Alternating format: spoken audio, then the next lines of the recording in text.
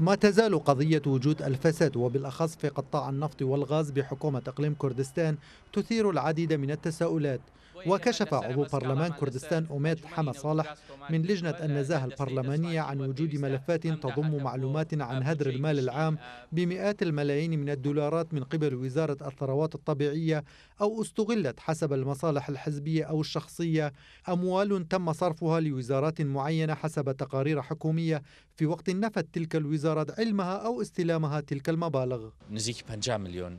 التقارير التي وصلتنا من الحكومة تشير إلى صرف مبلغ 50 مليون دولار لوزارة التربية وخاطبنا لمعرفة استلامها المبلغ بدورها نفت علمها. كذا الحال مع وزارة التعليم العالي. بعد أن أشارت التقارير إلى صرف مبلغ 182 مليون دولار للجامعتين الأمريكيتين في السليمانية ودهوك وهما أهليتان مع تخصيص مليون دولار لمكتب نائب رئيس الحكومة. وكل هذا تم بشكل غير قانوني وحسب المصالح الحزبية.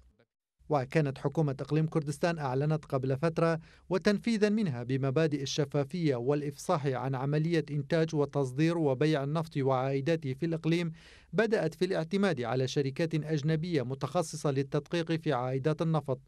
ونشرت تقريرا لها بهذا الصدد عن وارداتها للأشهر الستة الأولى من عام 2017 في وقت تعتقد منظمات المجتمع المدني أن القضاء على الفساد في هذا القطاع بحاجة إلى استحداث مؤسسات خاصة بها على ضوء القوانين الصادرة من برلمان الإقليم.